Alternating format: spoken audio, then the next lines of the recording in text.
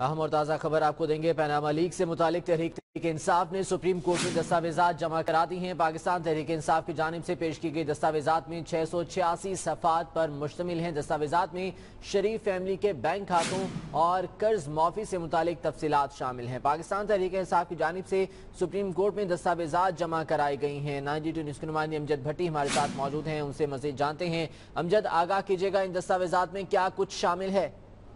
جی بالکل جو Panama league سے متعلق درخواستوں کی سماعت کرتے ہوئے گزشتہ طریقے سماعت پر سپریم کورٹ کے پانچ رکنی لارجر بینچ نے تمام فریقین کو حکم دیا تھا کہ پاناما لیگ سے متعلق تمام تر تفصیلات سپریم کورٹ میں پیش کی جائیں۔ ان دستاویزات کا جائزہ لینے کے بعد ہی عدالت جوڈیشل کمیشن کے قیام سے متعلق فیصلہ کرے گی۔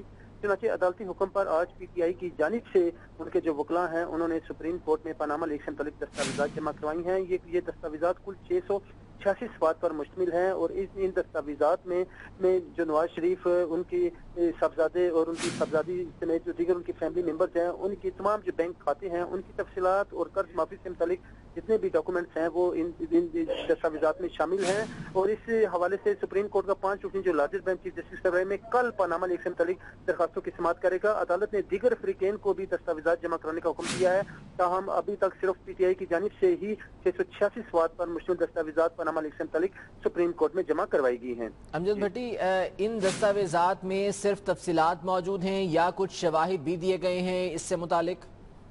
جی بالکل دستاویزات میں شواہد ہی ہیں کیونکہ عدالت نے واضح طور پر یہ کہا تھا کہ اگر کوئی شواہد موجود ہیں تو وہ دیے جائیں۔ اب پی ٹی آئی کی جانب سے جو بھی پاناما لیگ سے متعلق پاناما لیگز میں جو آف شور کمپنیاں پھر اس میں جو بینک کھاتے رقوم کی ٹرانزیکشن اور اس کے علاوہ دیگر جو قرض معافی اور وہ بینک اور یہاں سے پاکستان سے کیسے رقوم بار منتقل کی گئی اس سے متعلق چھ سو چھیاسی صفحات میں تمام تر دستاویزات جو ہیں تمام تر شواہد شامل ہیں۔ ٹھیک ہے بہت شکریہ امجد بھٹی اس بارے میں تفصیلات سے آگاہ کر رہے تھے۔